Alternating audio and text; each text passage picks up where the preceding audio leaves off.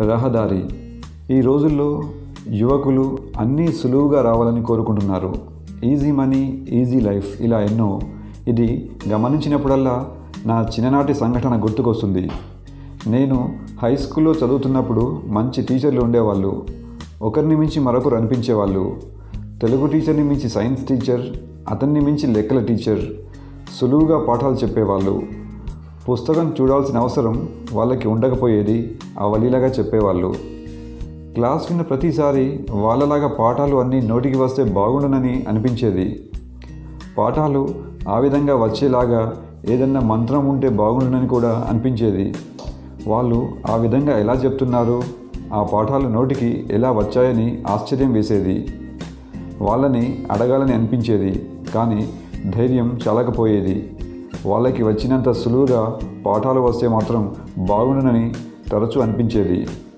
లెక్కల్లో మంచి మార్కులు రావాలని ట్యూషన్కి వెళ్ళేవాడిని. ఓ రెండు నెలల తర్వాత లెక్కల సార్తో కొంత చనువు ఏర్పడింది. తనకు వచ్చినంత సులువుగా మాకు లెక్కలు వచ్చే ఉపాయం ఏదన్నా ఉందా అని ఒకరోజు ధైర్యం చేసి అడిగాను. ఆయన నవ్వి ఇలా అన్నాడు. మన గుట్ట మీద ఎన్నో రాళ్ళు ఉన్నాయి. అందులో ఒక రాయి శిల్పంగా మారి గుడిలో దేవుడిగా మారింది.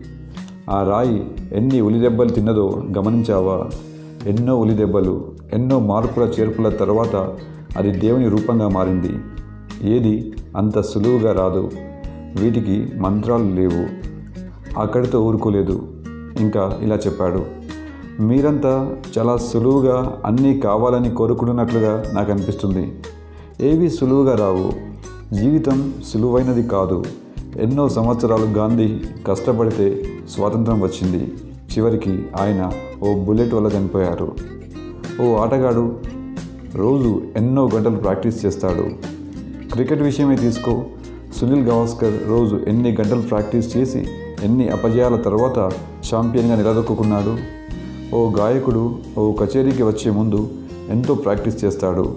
నెల్సన్ మండేలా ఎన్ని సంవత్సరాలు జైల్లో ఉన్నాడో తెలుసా? టాటా బిర్లాలు సులువుగా వ్యాపారం చేయడం లేదు. వాళ్ళకి ఎన్నో సవాళ్ళు ఎదురవుతున్నాయి.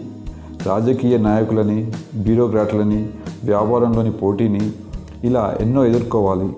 వాళ్ళ దగ్గర ఏ మంత్రమూ లేదు. ఆ మాటలు అలా గుర్తుండిపోయాయి. సులువైన జీవితం అంటూ ఏదీ ఉండదు. మన జీవితంలో ఏది కావాలో నిర్ణయించుకునేది మనమే.